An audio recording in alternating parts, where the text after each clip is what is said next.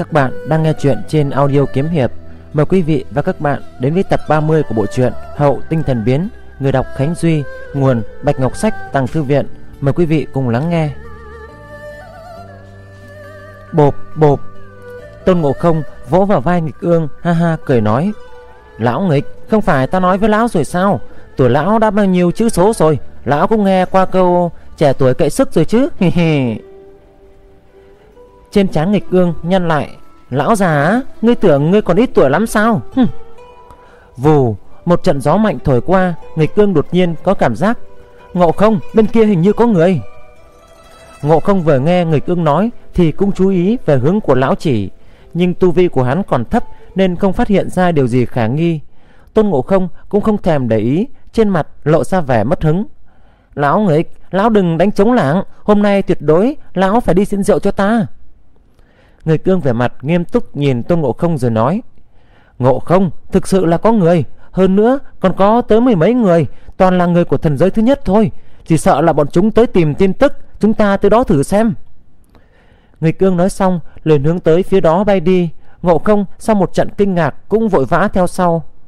Cũng khó trách Tôn Ngộ Không không cảm ứng được, Vì bay tới mấy ngàn dặm Mới thấy được mười mấy người, Đúng như là nghịch ương nói nhưng nhìn qua dường như họ không phải tới đây để tìm tin tức.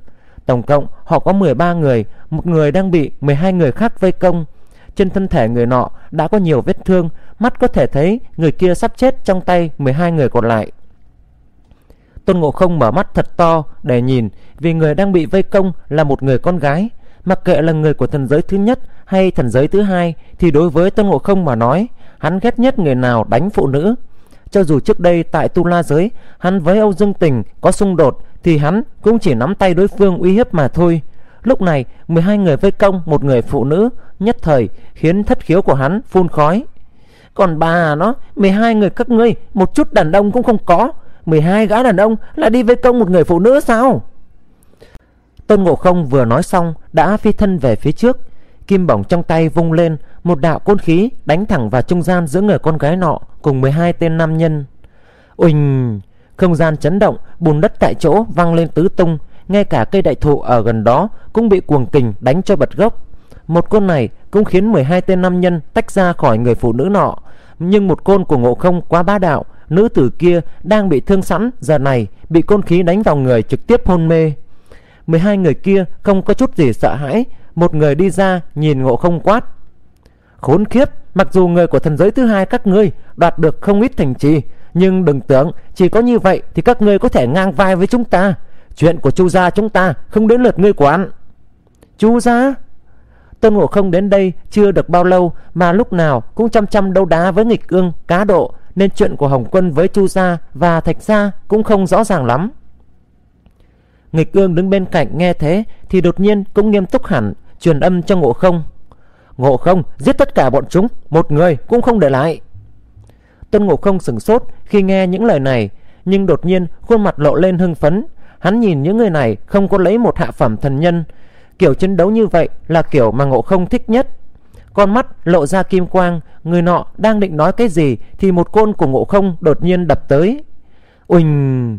12 người không những là không có một hạ phẩm thần nhân nào, mà tuyệt đối toàn là thượng phẩm thần nhân một côn này đối với 12 người này không tạo thành uy hiếp.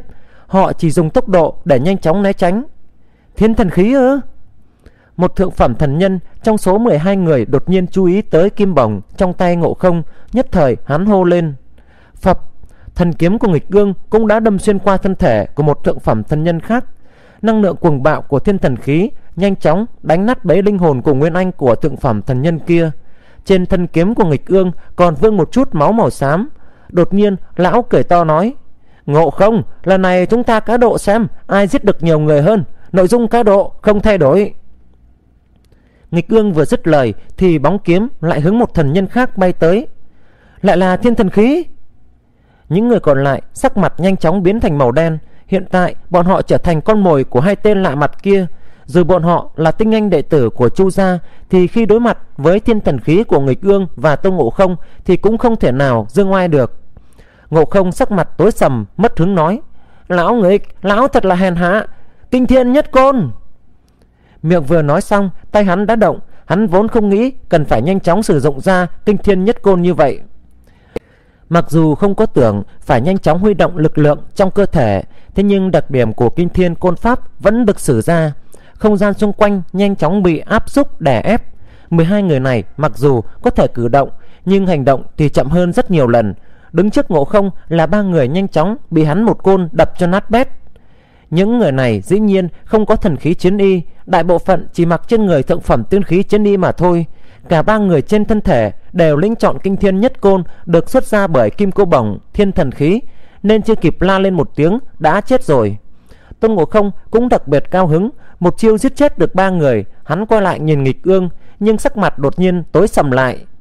Vừa rồi, hắn ngay lập tức có thể giết chết một lúc ba người, Nhưng kinh thiên nhất côn tương đối tốn thời gian. Trong khi đó, nghịch cương đã giết chết tiếp 5 người nữa. Như vậy 12 người, giờ chỉ còn lại hai người. Kinh thiên nhất côn! Ngộ không cũng không kịp suy nghĩ nhiều, Sử dụng kinh thiên nhất côn hướng hai người đập tới. Lần này sử dụng kinh thiên nhất côn, Hắn đánh ra còn muốn nhanh hơn lúc trước. Ngay cả lực trói buộc không gian cũng không có. Nhưng cũng may là hai người nọ Đã bị lực lượng của ngộ không và nghịch ương chấn nhiếp. Vừa nhìn thấy nghịch ương định ra tay, liền nhanh chóng bay lui đi. Nhưng đó cũng chính là đường côn của ngộ không Đang đập tới. Kết quả là hai người bị đánh nát, Biến mất khỏi không gian này. Từ khi động thủ đến khi giết chết 12 người, Nếu về mặt thời gian mà nói 10 lần hít thở cũng không đến. Ngộ không đối mặt với nghịch cương nói, Lão nghịch, Ngươi thật xảo trá. Ha ha ha ha ha ha ha. Nghịch cương ha ha, cười. Dù sao lần này là ta thắng, Chuyện rượu lần sau, Ngươi lo vậy. Tôn Ngộ Không cũng không để ý đến nghịch cương Trong tay cầm kim cô bồng Hướng tới người con gái đang hôn mê mà bước tới. Nghịch cương sừng sốt, Cũng không biết Ngộ Không định làm gì, Đi theo sau hỏi, Ngộ Không, ngươi định làm cái gì vậy? Ngộ Không cũng không quay đầu lại, Buồn bực nói, Giết nàng. Nghịch cương cả kinh vội chạy lên phía trước hắn Ngộ Không ngươi đừng xúc động Có thể từ nàng chúng ta sẽ biết không ít chuyện của Chu gia Nghịch cương thấy người của Chu gia vây bắt nàng Nghịch cương đột nhiên nảy ra ý định dùng đó để cứu vãn tình thế. Chu gia thì họ cũng biết khá nhiều, nhưng chưa từng có người của thần giới thứ nhất nói với họ, chứ đừng kể là người của Chu gia. Tôn Ngộ Không đứng lại, mặt vẫn không hề thay đổi nói: "Ta bực tức nên chỉ tùy tiện nói như vậy thôi." Nghịch Cương thở ra một hơi, tên hầu tử này thật khó đoán, trong khi hắn đang tức giận, một chút không kiểm soát được, giết chết nàng thì hỏng chuyện. Dọc đường trở về, không ai nói với ai câu nào, Họ mang người con gái này đi một mạch thẳng về Hồng Quân Thành. Trong phòng của La Băng Người con gái kia tỉnh lại Thì đập vào mắt nàng đầu tiên là một quang cảnh lạ hoắc. Nàng cố gắng ngồi dậy Trong đầu còn đang mê muội liền hỏi Ta, ta đang ở đâu? Đây là Hồng Quân Thành. Tên trước kia của nó là Lạc Phượng Thành Nhưng bây giờ đó không phải là quan trọng Bây giờ nó là thành trì của thần giới thứ hai. La Băng ở bên cạnh giải đáp Sau đó Làng liền khôi phục lại bộ dáng lạnh như băng của mình. Ngươi là ai? Tại sao lại bị của người của chu gia đuổi giết? Người con gái nọ đột nhiên thất thần chậm rãi nói Ta, ta gọi là Chu Lam. Một âm thanh trầm thấp vang lên. Chu Lam chính là người của thần giới thứ nhất Tu vi bản thân đã đạt tới thượng phẩm thần nhân cảnh giới Hơn nữa từ người của nàng còn phát ra một cỗ khí chất đặc biệt Có thể nói nếu có một nam nhân nào gặp được nàng thì tuyệt đối sẽ ghi nhớ nàng, nhớ kỹ cỗ khí chất đặc biệt đó. Người tu chân rất dễ thay đổi dung mạo, điều này thì bất kỳ ai cũng biết nên họ đặc biệt coi trọng khí chất. Khí chất chính là tượng trưng của một người, muốn thay đổi khí chất thì chưa có ai dám nắm chắc là có thể làm được. Chu Lãm, người của Chu gia ư? La Băng lập tức nhíu mày, ánh mắt trở nên lạnh lùng nhìn nữ tử này. Cũng không trách được La Băng vì tất cả người trong Hồng quân Chín Thành đối với Chu Gia luôn luôn là một điều cấm kỵ.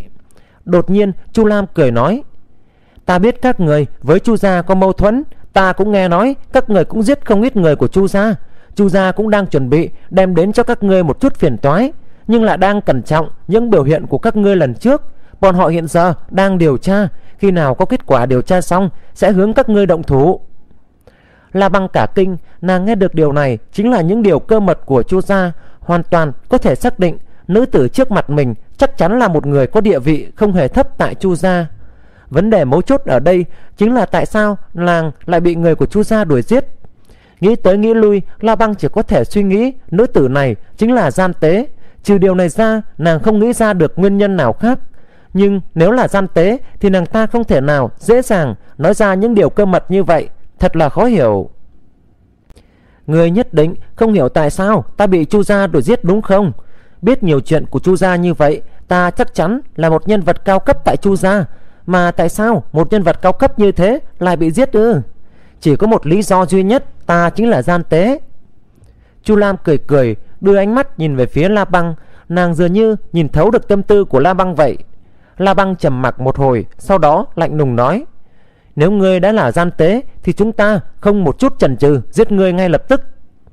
Vẻ mặt của Chu Lam không hề có một chút biến hóa. "Ta biết, cũng không sao cả, người của Chu gia, thần giới thứ nhất cũng muốn giết ta, thần giới thứ hai Hồng Quân Thành cũng muốn giết ta, hai thế lực cực mạnh đuổi giết thì đằng nào cũng bị người ta giết thôi, có gì khác nhau đâu." Chết trong tay ai đối với ta cũng giống nhau cả La băng lại trầm mặc Đoạn ngước đầu lên hỏi. Chu Lam Một người không có khả năng cùng đắc tội với hai thế lực đối lập. Nếu ngươi là địch nhân của Chu gia Thì chính là bằng hữu của Hồng Quân Thành. Sự khác biệt đó Với một người thông minh như ngươi Chắc ngươi cũng hiểu ý tứ của ta. Ánh mắt Chu Lam đột nhiên sáng ngời Nhưng rồi đột nhiên lại ảm đạm hẳn xuống. Đáng tiếc ta không thể chứng minh được cái gì cả. Thân phận là người của thần giới thứ nhất lại là nhân vật cấp cao của Chu gia, tất cả đều là sự thật. Cho dù là người của Chu gia, chúng ta cũng đâu phải là giết ngươi ngay. Hai người đang nói thì thanh âm của Hồng Quân từ bên ngoài vang lên.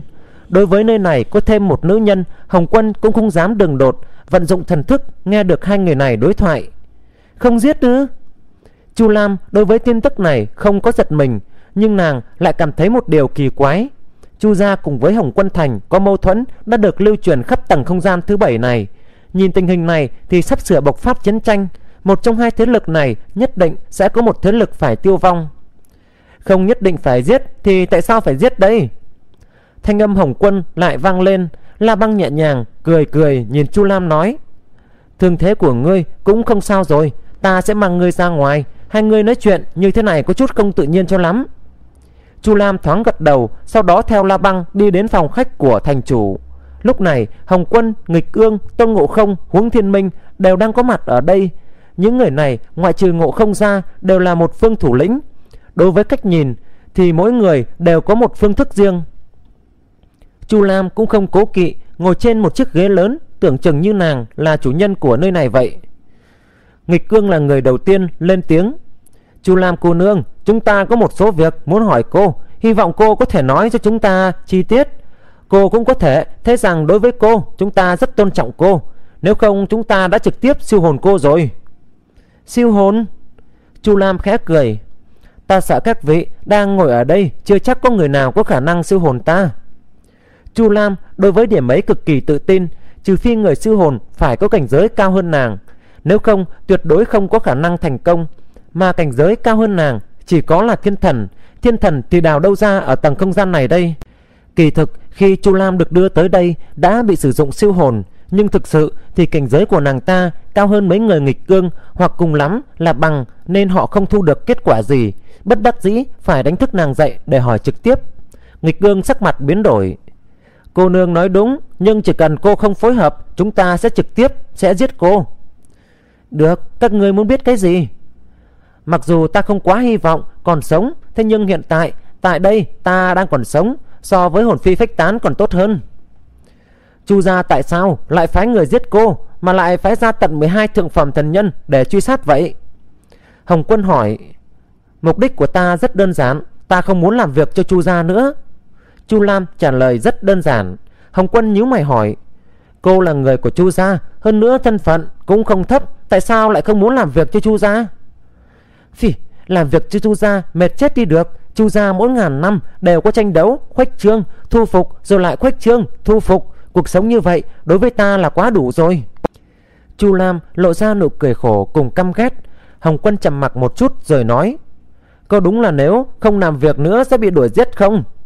Đây là một điều rất nghi ngờ Nếu muốn lùi lại thì coi như là nghỉ ngơi tĩnh dưỡng Bỏ qua chuyện đó cũng đâu có gì Cũng không cần thiết phải truy giết như vậy Chu Lam nở ra nụ cười mang theo vài phần kinh miệt. Nếu ta đoán không sai, ngươi chính là Hồng Quân phải không? Rất bản lĩnh, đêm ấy ta rất bội phục ngươi. Cũng vì muốn gặp được ngươi, nên ta mới cố chạy tới nơi này. Chu Lam trực tiếp nhìn Hồng Quân, rồi tiếp tục nói. Thế nhưng khi nghe câu nói kia của ngươi, Nghe danh công bằng gặp mặt, Nhưng ta dám khẳng định, Ngươi đấu không lại Chu gia.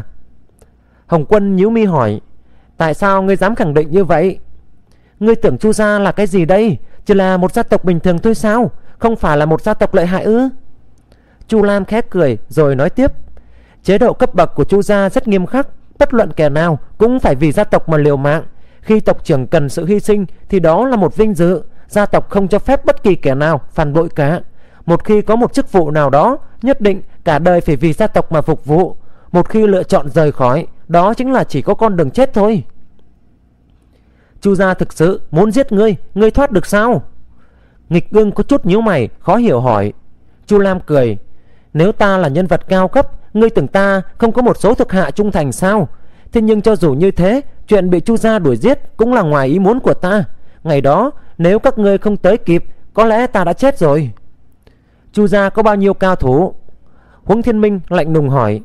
Có nhiều ít bao nhiêu ta cũng không rõ ràng cho lắm, Nhưng ta chỉ biết Chu gia có ba vị siêu cấp cao thủ, Đều là tu luyện công pháp cao nhất của Chu gia. Về phần uy lực, tuyệt đối không kém nghịch thiên nhất kiếm của Hồng Quân. Chu Lam nói xong điều này chậm rãi liếc mắt nhìn phản ứng của mọi người.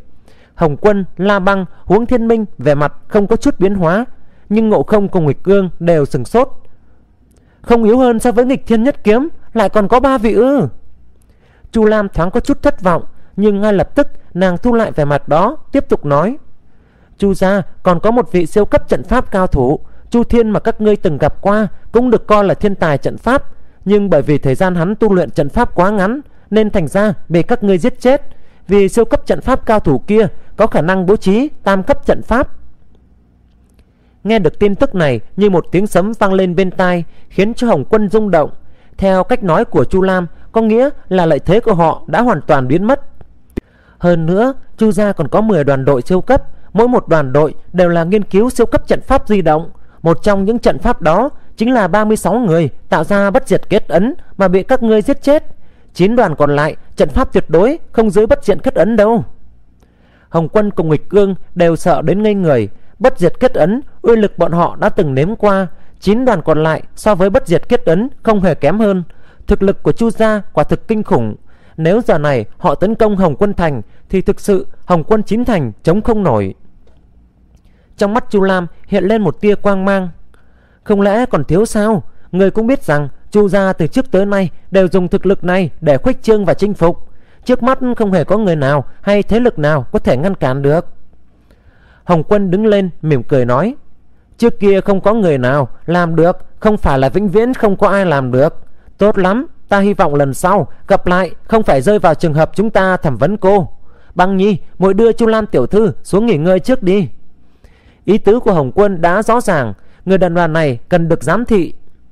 Tất cả mọi người đều đứng lên Tôn Ngộ Không sau khi nghe được Hồng Quân nói như vậy Cũng đứng lên. Tâm trí hắn mờ mịt đến mức Không biết vừa rồi mình ngồi ở chỗ nào Suy nghĩ cái gì. Đối với hắn mà nói Được thẩm vấn và bị thẩm vấn Chẳng có gì là khác nhau cả. Trong một căn phòng của thành chủ phủ Hồng Quân bố trí một trận pháp Ngăn cách âm thanh lại. Trong căn phòng này giờ đã có nghịch cương, huống thiên minh, la băng, tôn ngộ không ngồi ở đó. Thiên minh, ta giao cho ngươi một nhiệm vụ. Cho ngươi 10 năm bằng mọi cách phải lấy được thông tin từ Chu gia.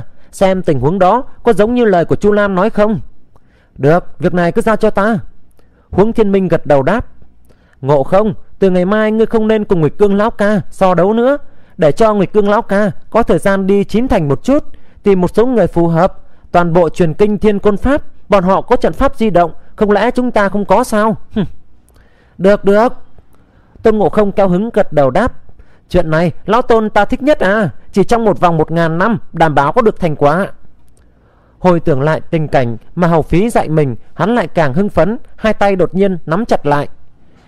Còn La Băng Lần này muội phải chịu khổ một chút rồi. Muội vốn là tu la ma giới hoàng giả Cuộc sống kế tiếp, bất luận là bao nhiêu năm, chúng ta cũng phải huấn luyện cho được một đội ngũ hùng mạnh. Không nên lúc nào cũng chỉ dựa vào thực lực của mấy người chúng ta, mà phải dựa vào thực lực của một quần thể. Ta sẽ làm tốt, huynh yên tâm đi. La Băng cũng không nói thêm gì nữa. Một câu nói này cũng khiến cho Hồng Quân có thể yên tâm.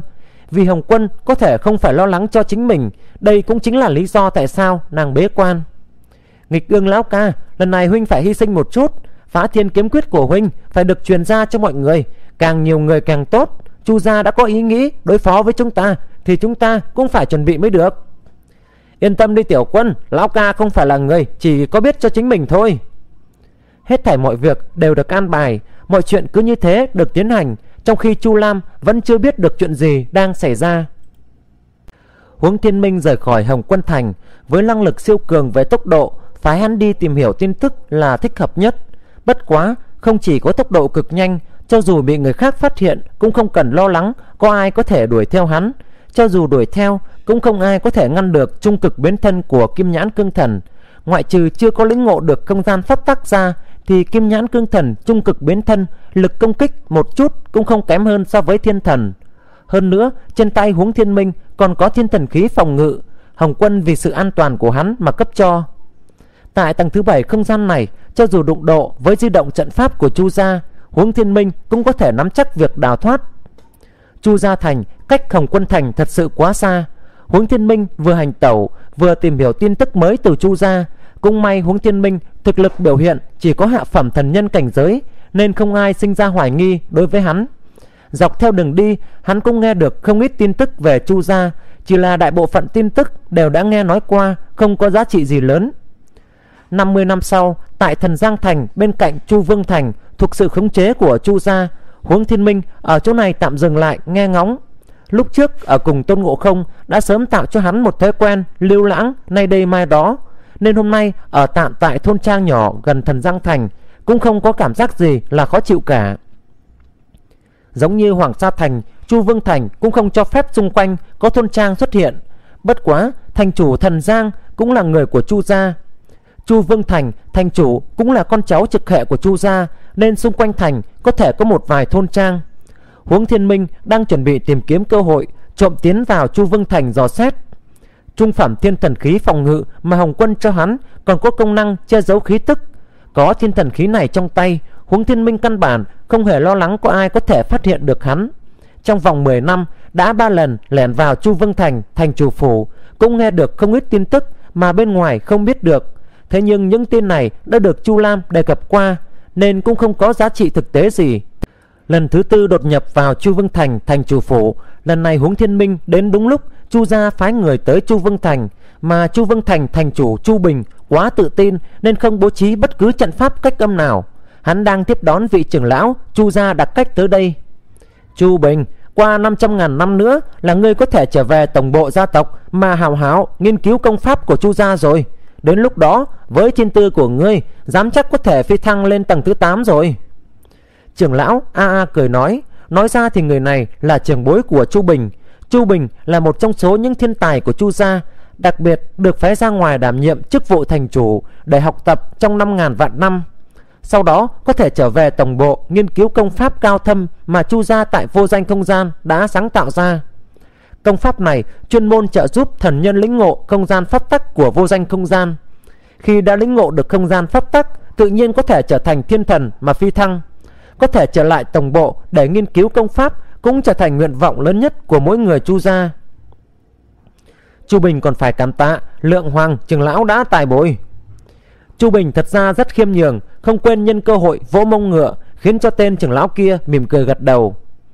Ta lần này tới đây chủ yếu có ba việc chính. Đầu tiên là phải tiếp tục điều tra Hồng Quân Thành. Thạch gia đã nhiều lần phái người đến thành cầu chúng ta hợp lực công kích Hồng Quân Thành, đều đã bị tộc trưởng chèn ép. Bây giờ chuyện này mặc dù chưa có quan trọng, nhưng sợ rằng cũng không tránh được bao lâu. Quan trọng nhất chính là cái ngày bầu trời xảy ra biến cố kia có đúng hay không cùng Hồng Quân có quan hệ. Việc này cần phải điều tra cho rõ ràng. Chu Bình đã minh bạch, xin trưởng lão cùng tộc trưởng cứ yên tâm. Chu Bình đã phái không ít người đi điều tra, lại đều có vũ khí bí mật, tin tưởng không bao lâu có thể có tin tức trở về. Người làm việc thì ta yên tâm rồi. Trưởng lão mỉm cười gật đầu, tiếp theo nói.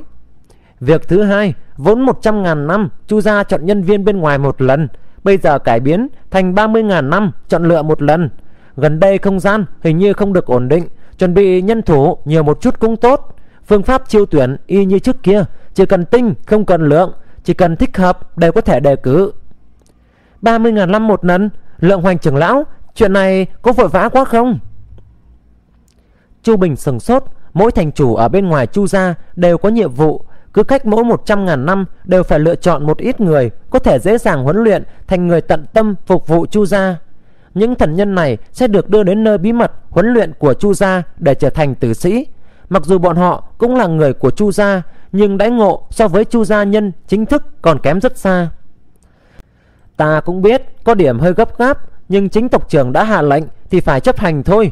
Chỉ có khổ cực các ngươi tìm ở các thành thị bên ngoài, không lên giới hạn chỉ trong thành nội của mình. Trưởng lão thở dài, tộc trưởng gia tăng số lượng nhân viên chiêu thu từ bên ngoài vào. Chuyện này bao nhiêu ước năm qua chưa từng xảy ra, xem ra tầng thứ bảy không gian quả thật xuất hiện chuyện nghiêm trọng. Chuyện thứ ba, Hỏa Lôi Thành, thành chủ Chu Hỏa lúc đi ra ngoài không cẩn thận bị ba tên đệ nhị thần giới giết chết. Tộc trưởng phi thường tức giận, nghiêm lệnh truy nã ba tên đệ nhị thần giới kia. Căn cứ vào mật báo, bọn chúng có thể đang hướng tới thành trì này của các ngươi. Ngươi phải lưu ý, bắt được ba người kia cũng là có công lao rất lớn. Chu Hỏa bị giết ư? Chu Bình kinh hãi kêu lên một tiếng. Nếu tính ra, Chu Bình là tôn chất của đương kim tộc trưởng, còn Chu Hỏa là cháu ruột của tộc trưởng. Địa vị của Chu Hỏa so với Chu Bình còn muốn cao hơn rất nhiều. Chu Vương Thành của hắn mặc dù có tên là Chu Vương, nhưng một khi so sánh cùng Hỏa Lôi Thành chính là yếu hơn không ít. Đúng vậy, Chu Hòa cũng là xui xẻo, lúc ra ngoài dẫn theo cả ngàn hộ vệ tùy thân, không tưởng được ra khỏi thành không lâu liền phát hiện ba tên trung phẩm thần nhân của đệ nhị thần giới. Với cá tính của Chu Hóa, đương nhiên sẽ không tha cho bọn họ. Ai biết ba người nọ biến thái như vậy, ba trung phẩm thần nhân có cánh giống như yêu thú, trong miệng còn có răng nanh rất dài, còn có thể biến thân. Chu Hóa chính là bị bọn họ sau khi biến thân giết chết một ngàn tượng phẩm thần nhân hộ vệ, đi theo cũng bị giết hơn 500 cuối cùng còn để cho ba tên kim nhãn trung phẩm thần nhân nọ chạy mất đi. Trung phẩm thần nhân có thể biến thân ư? Con mắt màu vàng. Lượng hoàng trưởng lão, xin cứ yên tâm. Nếu bọn họ tới địa bàn của ta ta nhất định sẽ bắt bọn họ trao cho tộc trưởng xử lý. Chu bình mày cũng nhíu lại mặc dù đáp ứng, nhưng trong lòng không dám kinh thường ba người này. Có thể giết 500 thượng phẩm thần nhân, Mặc kệ ba người tu vi là gì, Cũng đáng để cho hắn cẩn thận đối phó. Hảo, Chủ yếu là ba việc này. Ngươi xử lý tốt là được. Ta về trước. Tộc trưởng còn đang chờ ta, Đem tin tức trở về. Trưởng lão a a cười nói, Xoay người định hướng đi ra ngoài. Lượng hoành trưởng lão, trở về nhất thời, Cũng không vội. Ngài hãy ở lại đây vài ngày đi. Mỹ vị Chu Vương Thành Ngài cũng đã lâu không có thưởng thức rồi Chu Bình vội ngăn trưởng lão lại a à, cười nói cũng được, cũng được, vậy hai ngày nữa rồi mới trở về vậy. trưởng lão nói phải đi cũng chỉ là ra vẻ làm bộ, gặp Chu Bình ngăn trở liền đáp ứng ngay. Ba kim nhãn, răng nanh dài, trung phẩm thần nhân có thể biến thân, chẳng lẽ là ba vị tiền bối nọ sao? Huống Thiên Minh nghe được hai mắt sáng ngời, hắn ở chỗ này không có cảm nhận được nguy hiểm của thiên kiếp, hơn nữa răng nanh dài, hai mắt màu vàng có thể biến thân lại với trung phẩm thần nhân cảnh giới, có thể giết chết thành chủ với hơn 500 thượng phẩm thần nhân, ngoại trừ kim nhãn cương thần của cương thi nhất tộc ra, Huống Thiên Minh thật sự không nghĩ ra được người nào khác cả. Huống Thiên Minh trong lòng kích động, dưới chân đang rời đi, không cẩn thận dậm trên mặt đất làm phát ra tiếng động. Một chút động ấy lập tức bị Chu Bình cùng Chu gia trưởng lão, Chu Lượng Hoành phát hiện được. Là ai? Chu Bình chợt quát một tiếng, không nghĩ tới mình đang tiếp khách quý lại có kẻ dám tới, hơn nữa lại có thể ẩn nấp dưới thần sức quan sát của hắn. Chu Bình đối với thần thức của chính mình vẫn rất tự phụ, rất ít người có thể trốn tránh được hắn. Bất hảo bị phát hiện rồi. Huống Thiên Minh âm thầm kêu một tiếng, lập tức phát động một thân tốc độ, rất nhanh hướng ra ngoài chạy mất. Chu Bình cùng Chu Lượng Hành trong khi chạy ra thì Huống Thiên Minh đã trực tiếp biến thân lần thứ hai bay đi thật xa. Hai tượng phẩm thần nhân cũng không đuổi kịp tốc độ của hắn. Tốc độ thật nhanh, người kia là ai? Chu Lượng Hoành chỉ thấy một chút thân ảnh của Huống Thiên Minh phi tẩu, thần thức căn bản không quan sát được bởi vì Huống Thiên Minh đã sử dụng thiên thần khí che giấu khí tức. Chuyện này khẩn cầu trưởng lão vì Chu Bình mà giữ bí mật cho, người này ta nhất định sẽ bắt được. Chu Bình lúc này thầm hận chính mình quá khinh thường để cho bí mật của trường lão bị người khác nghe lén. Tin tức này truyền về gia tộc đối với hắn là một đả kích không nhỏ.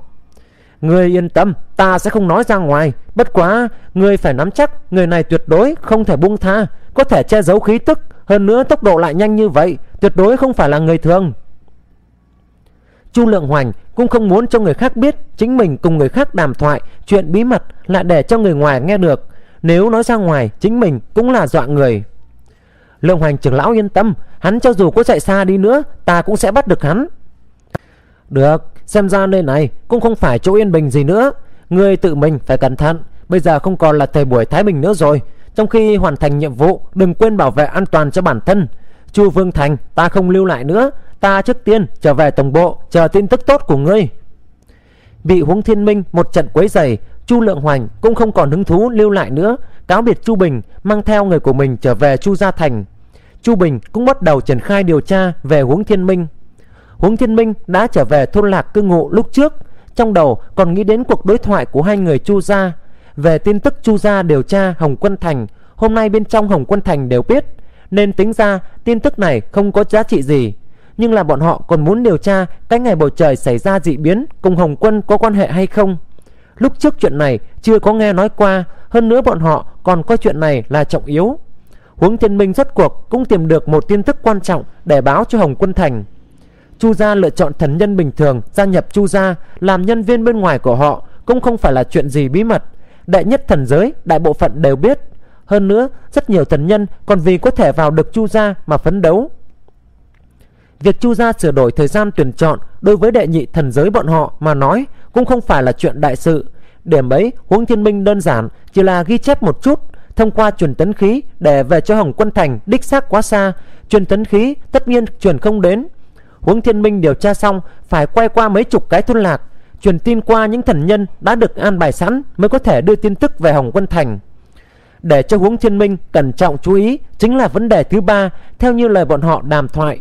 Lúc trước ở tầng thứ 6, Huống Thiên Minh ngay cả một tin tức của cương thi nhất tộc cũng không có nghe qua.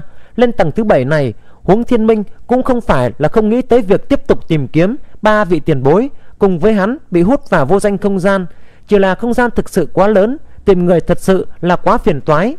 Vốn hắn đã tạm thời buông tha ý định này, Huống Thiên Minh ngàn vạn lần không có nghĩ đến ở chỗ này cũng nghe được tin tức của ba vị kim nhãn cương thần.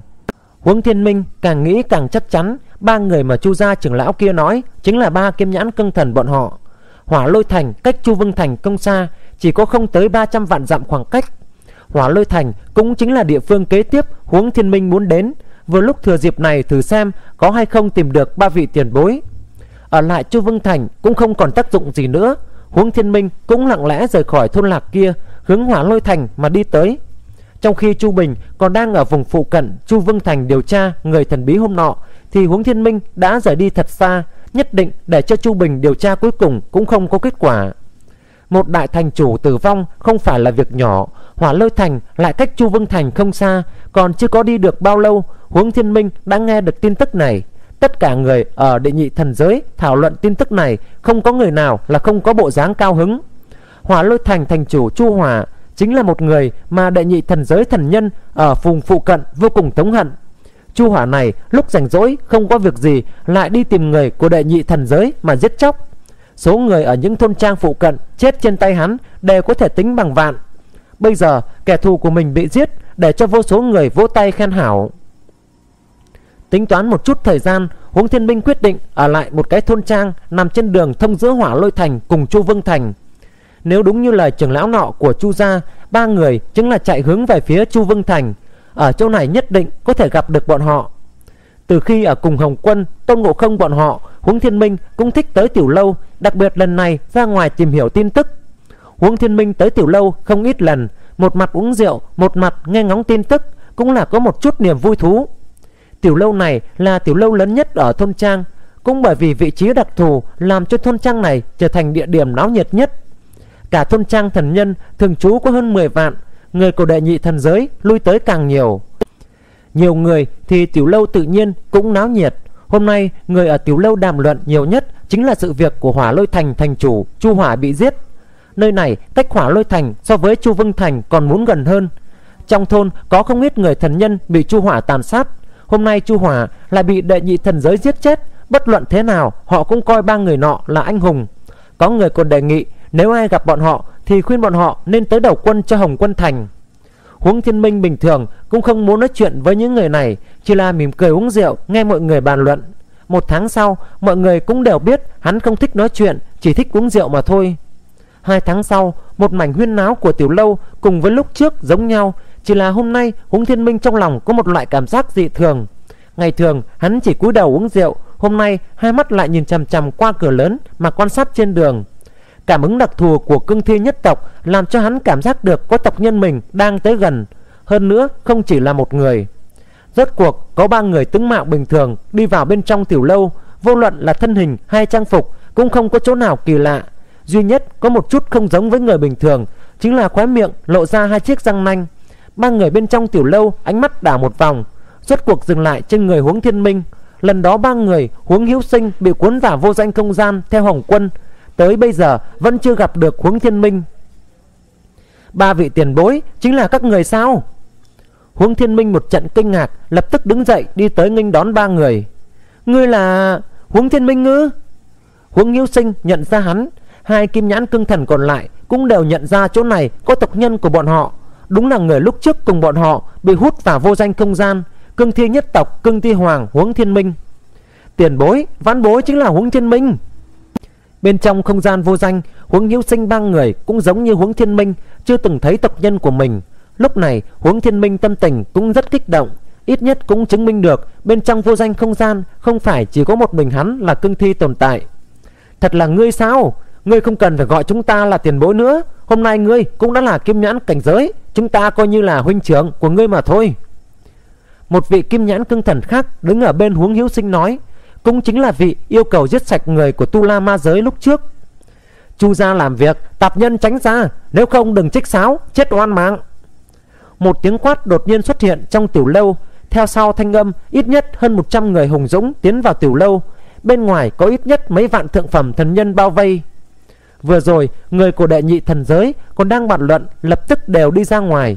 Chu gia đệ nhất thần giới Là gia tộc nổi tiếng ở cả tầng thứ bảy này. Ba người mới vừa tiến vào tiểu lâu Thì người của chu gia liền hiện thân. Người của đệ nhị thần giới Ngay lập tức hiểu được Ba người này chính là kẻ đã sát hại chu hỏa Bọn họ đều tiếc hận cho ba người này. Tiếc hận chính là không có một ai dám tiến lên trợ giúp ba người bọn họ. Lại tới, Đây là lần thứ bảy rồi, Đúng là cái loại chẳng biết sống chết gì cả. Vị kim nhãn cưng thần đang cùng huống thiên minh nói chuyện, Hư lạnh một tiếng. Sau khi giết chết chu hỏa Bọn họ đã ba lần gặp người của chu gia ngăn cản. Người của chu gia không ai có thể đuổi theo kịp tốc độ của ba người bọn họ, Đều bị ba người chạy thoát. Đồng thời, họ cũng giết không ít người của đệ nhất thần giới. Lần này, xem các ngươi còn chạy thoát như thế nào. Một tên tượng phẩm thần nhân đầu lĩnh, Sau khi mọi người rời khỏi tiểu lâu, Cười lạnh nhìn ba người nói, ba người tốc độ chạy trốn rất nhanh, để cho người của chu gia đuổi bắt thực sự đau đầu vì thế, tổng bộ đặc ý phái tới một nhóm thượng phẩm thần nhân đã luyện di động trận pháp tới đây trợ giúp. Hôm nay trưởng lão của đội di động trận pháp đã tới thôn trang này. Chu gia thần nhân đuổi bắt ba người này tự nhiên có tin tưởng. Chúng ta còn muốn chạy, ai có thể ngăn được đây? Chỉ bằng các ngươi ư? Huống hữu sinh cũng hừ lạnh một tiếng. Bọn họ không biết lợi hại của chu gia di động trận pháp. Chính là huống thiên minh Cũng chỉ nghe Hồng Quân nói qua Mà chưa có chính thức thấy được. Cuồng vọng, Hy vọng các ngươi có bản sự để mà cuồng vọng như vậy. Lão giả đầu lĩnh cười lạnh nói, Bên cạnh hắn, Ba mươi mấy người đã bắt đầu di động chung quanh, Rất nhanh, bao vây lấy toàn bộ bốn người. Oanh! Cả tiểu lâu, theo sự di động của hơn ba mươi mấy người này, Đã hoàn toàn đổ nát. Bốn người huống thiên minh, Vốn ở trong đại sảnh, cũng xuất hiện ngoài trời. Xa xa còn có vô số đệ nhị thần giới nhân đứng xem. Ba mươi mấy người đột nhiên trở nên đứng bất động Ba kim nhãn cưng thần thấy bọn họ không nhúc nhích Chính mình cũng không nhúc nhích Chỉ là lãnh nhãn nhìn Căn bản không biết dụng ý của đối phương. Không xong rồi chúng ta nhanh đi ra ngoài. Nhìn ba mươi mấy người thủ thế Huống thiên minh rốt cuộc nhớ tới Hồng Quân đã nói cho hắn Di động trận pháp của Chu Gia.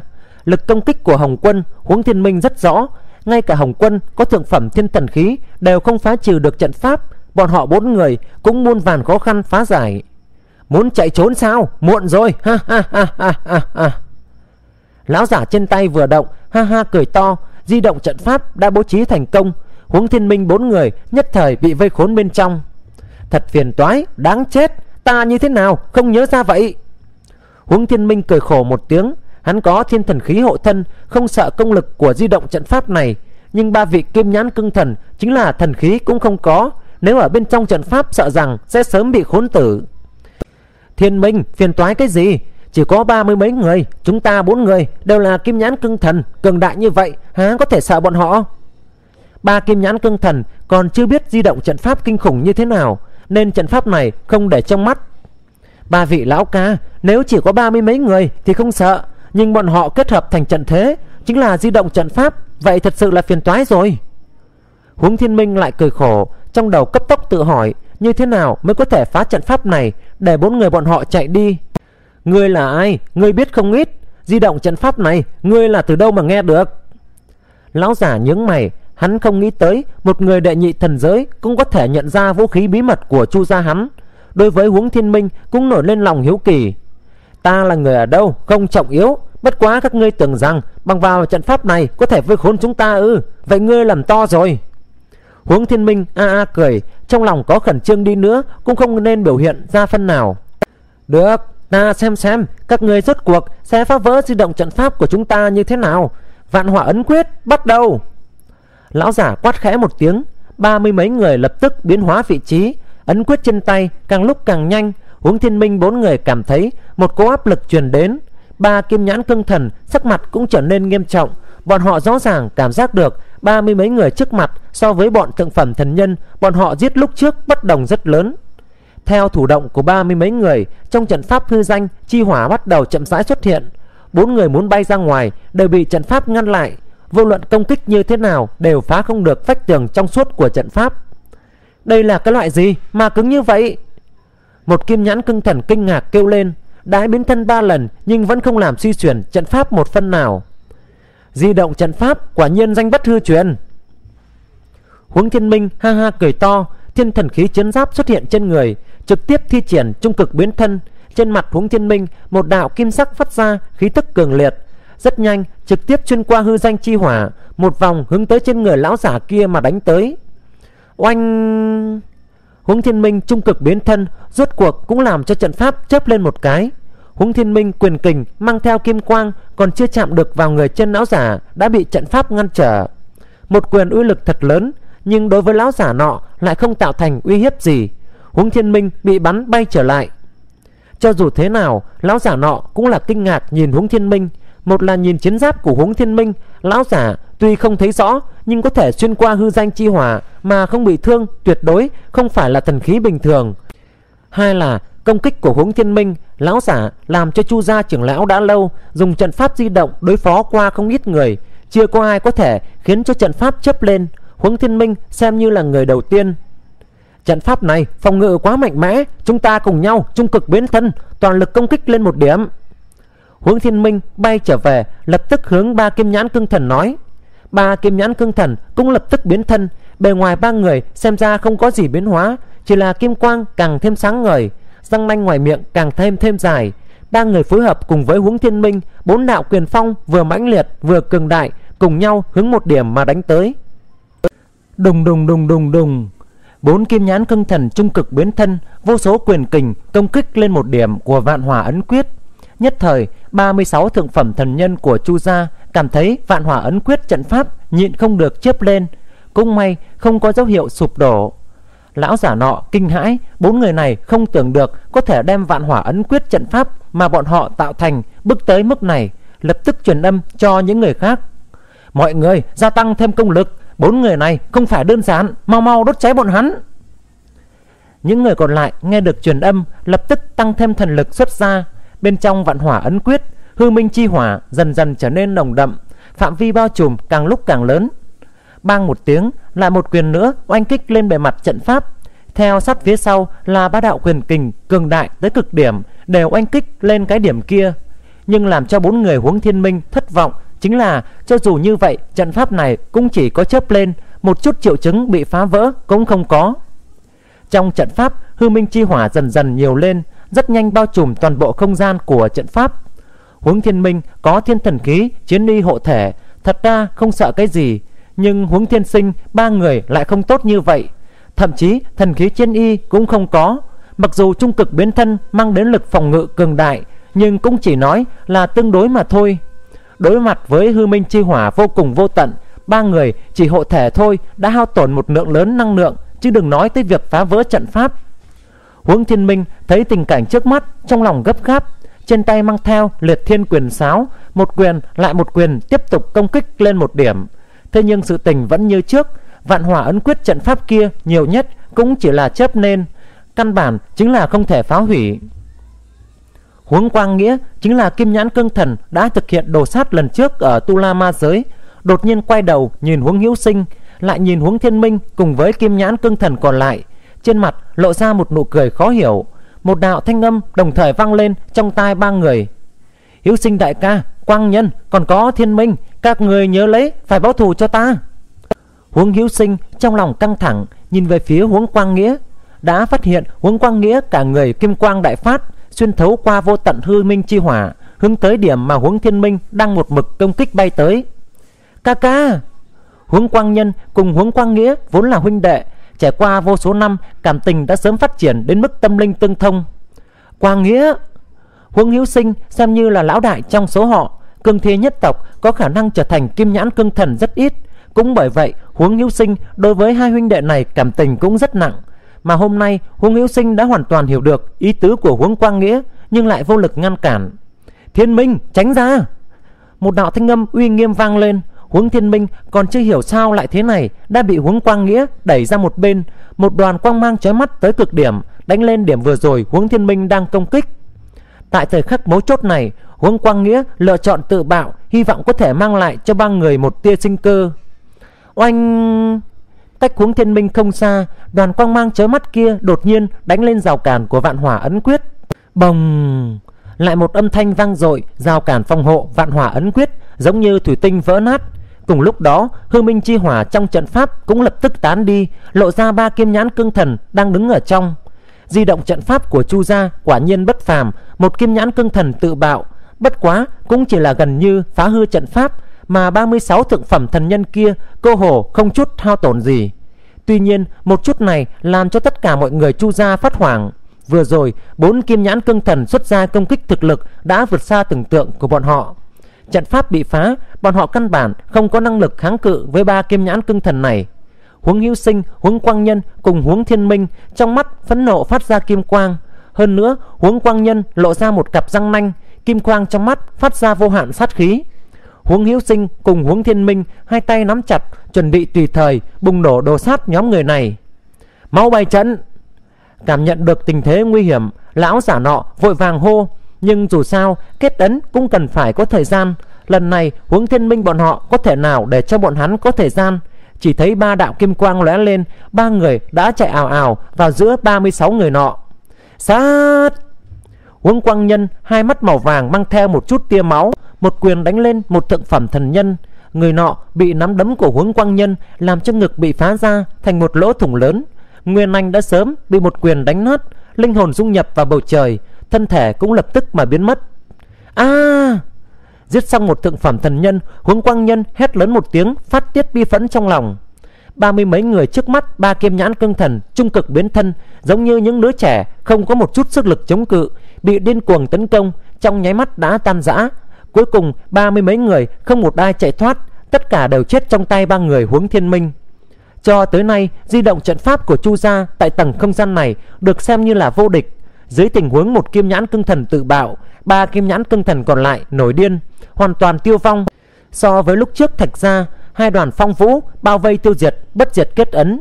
Trái lại lần này, vạn hỏa ấn quyết bị diệt bởi mấy kim nhãn cương thần cường đại bị bao vây bên trong. Chu gia di động trận pháp bị phá, xa xa đệ nhị thần giới thần nhân rốt cuộc cũng dám mon men lại gần quan sát kết cục của trận chiến. Chỉ là đứng ở bên ngoài thôi mà ở giữa ba kim nhãn cương thần đang đứng trầm mặc, luôn gây cho bọn họ một loại cảm giác không lạnh mà run. Tuy vừa rồi đã mất đi một người, nhưng nhìn cảnh tượng 36 người của Chu gia bị giết hại hoàn toàn khắc trong óc những người này. Ai dám cam đoan ba người này sẽ không xuống tay với bọn họ đây? Ta nói, ta... Hồi lâu, một thần nhân của đệ nhị thần giới xa xa mở miệng nói. Ta nói, ba vị hay là tới Hồng Quân Thành đi. Ở đây khắp nơi đều là tay mắt của Chu gia. Chỉ có Hồng Quân Thành có thể bảo hộ được các vị thôi. Ba người vẫn không nhúc nhích, chỉ có Huống Thiên Minh thấp giọng nói cảm ơn. Ba người chỉ lặng lặng đứng như vậy, ước chừng đã đứng suốt ba ngày. Hiếu sinh đại ca, Thiên Minh, chúng ta đi thôi. Theo lời bọn họ nói Hồng Quân Thành xem ra chính là đang khai chiến với Chu Gia Địch nhân của địch nhân chính là bằng hữu. Đến đó, chúng ta lại đại sát một phen. Huống Quang Nhân nói, Trải qua nỗi đau tang huynh Kiều hận với Chu Gia trở nên vô cùng sâu sắc. Được, chúng ta tới Hồng Quân Thành. Huống Hữu Sinh không nói nhiều, Những lời nói cũng có tác dụng tạo được tính quyết định. Huống Thiên Minh cũng là thở dài một hơi. Từ lúc tìm được tin tức của ba kim nhãn cưng thần tiền bối, Huống Thiên Minh liền định truyền tin về Hồng Quân Thành. Hiện tại, Huống Hữu Sinh đã nói Việc này cũng đã thành đại cục. Nhưng Huống Thiên Minh vừa chuyển suy nghĩ Thì vấn đề lại tới. Thân phận La Băng không thể che giấu được. Nếu hai người này gặp La Băng, Huống Hữu Sinh thì còn có thể chấp nhận được. Nhưng Huống Quang Nhân vừa mới mất đi huynh đệ, Lại đụng với kẻ thù trước kia, Không có thiên kiếp hạn chế, Thật không biết Huống Quang Nhân sẽ làm ra sự tình gì. Lắc lắc đầu, Tạm thời không nghĩ tới vấn đề này nữa. Xa đáo sơn, tiền tất hữu lộ. Đến lúc đó tự nhiên có phương pháp giải quyết những tin tức tìm hiểu được từ Chu gia tuy không nhiều nhưng thân thế vô cùng to lớn của Chu gia theo như lời Chu Lam nói lúc trước không sai biệt lắm. Nói cách khác, lúc thẩm vấn, Chu Lam quả thực không có nói sai, uy lực vạn hỏa ấn quyết hắn cũng đã chứng kiến được. Dựa theo lời Chu Lam, Chu gia còn có 8 loại trận pháp di động giống như vậy. 8 trận pháp như vậy cũng thật là làm cho người ta đau đầu một trận. Thật không tưởng tượng được, theo như lời Chu Lam, ba vị siêu cấp cao thủ kia rốt cuộc cường hãn tới mức độ nào. Thân phận đã bị bại lộ, ba người cũng không dám ở lâu trong phạm vi thế lực của Chu gia nữa. Dọc theo đường đi, tiện thể tìm hiểu tin tức, thẳng hướng về hướng cổng quân thành. Dù sao khoảng cách trăm năm thời gian còn đến 40 năm, huống thiên minh mấy người thật ra cũng đã dư thời gian. Hồng quân thành, thành chủ phủ, Hồng quân một mình ngồi uống rượu, những người khác đều bị hắn phái đi ra ngoài, không biết như thế nào, bất chi bất giác chính mình đã có thói quen đối với vị trí đứng đầu này. Cười khổ một chút tiếp tục uống rượu trong lòng còn suy nghĩ như thế nào có thể đấu tranh cùng đệ nhất thần giới. Một mình ngồi suy nghĩ cái gì vậy? Chu lam một thân trang phục màu tím từ trong phòng đi ra nhìn thấy hồng quân ngây người ngồi suy tư mở miệng nói từ khi huống thiên minh truyền tin trở về sự đối xử với chu lam theo đó cũng phóng túng hơn rất nhiều chỉ cần không ra khỏi thành chủ phủ hành động của nàng cũng sẽ không có ai can thiệp Hồng Quân ngẩng đầu lên, bộ dạng Chu Lam cũng không thể nói là khuynh quốc khuynh thành, nhưng trên người cô ta phát ra khí chất đặc biệt, đối với mỗi nam nhân đều có một loại hấp dẫn riêng biệt. Không có gì, có một số việc nghĩ không ra, không biết giải quyết như thế nào mới ổn thỏa. Hồng Quân cười cười, nói cũng như chưa nói, chính là nội dung thực chất cũng không có nói ra. Đối với thân phận của Chu Lam, Hồng Quân Thủy Trung cũng có một chút nghi ngờ. Chu Lam cười, ngồi xuống đối diện Hồng Quân, Đôi môi đỏ mọng mấp máy nhẹ giọng nói. Không thể tưởng được Thần tượng của đệ nhị thần giới Cũng phát sầu như vậy. Nếu để cho người khác biết được Chỉ sợ địa vị của ngươi Trong lòng bọn họ sẽ suy giảm đi rất nhiều. À không sao cả Suy giảm thì suy giảm Dù sao ta cũng chính là một người tùy tiện như vậy mà. Hồng Quân làm bộ dáng không sao cả, Cười cười nói, Đồng thời bưng chén rượu lên uống một ngụm. Rượu gì thế? Cho ta một ít đi. Chu Lam lấy một cái tách, Ý muốn Hồng Quân rót cho nàng. Hồng Quân cầm lấy bình rượu, rót cho Chu Lam một ly. Rượu này ta cố gắng để dành, Hiện tại không còn nhiều lắm, Uống một ngụm, ít một ngụm. Đúng như Hồng Quân nói, Lúc trước ngộ không cùng nghịch cương so tài, Hai người làm tiêu hao của hắn không ít rượu. Chu Lam bưng chén rượu, Đôi môi mấp máy Chấp chấp miệng, tán thưởng nói, Quả nhiên là hảo tiểu, Ta tới không gian này cũng đã mấy trăm vạn năm, Cho tới bây giờ cũng chưa từng thưởng thức qua loại rượu nào ngon như vậy. Mấy trăm vạn năm? Hồng quân, cả kinh, Theo lời Chu Lam, Được lựa chọn vào địa vị cao trong Chu gia, Đều trải qua những khảo hạch nghiêm khắc. Bình thường không có mấy ngàn vạn năm, Căn bản cơ hội tiến lên tầng quản lý của Chu gia đều không có, Chứ đừng nói đến tầng cao cấp. Chu Lam nhẹ nhàng cười, Trong nụ cười cũng mang theo một nỗi buồn vô tận. Đúng vậy, Cảm thấy rất sốc đúng không? Mấy trăm vạn năm có thể làm vị trí cao ở Chu gia. Chuyện này nhiều người có mơ cũng không dám mơ tới. Thế nhưng chuyện này thực sự tốt lắm sao? Chu Lam tự hỏi, Vẻ mặt lộ ra một nét u sầu. Người biết không, Ta vốn không phải là như vậy. Có muốn nghe một chút chuyện xưa của ta không? Chu Lam cười hỏi Hồng Quân. Ta xin rửa tay lắng nghe. Hồng Quân, xiêm áo chỉnh sửa một chút. Giống như một người bình thường Ngồi đối diện với Chu Lam chăm chú lắng nghe Kính thưa quý vị khán giả thân mến, Câu chuyện của chúng ta hôm nay tạm thời kết thúc tại đây Mời quý vị và các bạn hãy dõi theo diễn biến của câu chuyện trong các video sắp tới. Chúc các bạn nghe chuyện vui vẻ. Xin chào và hẹn gặp lại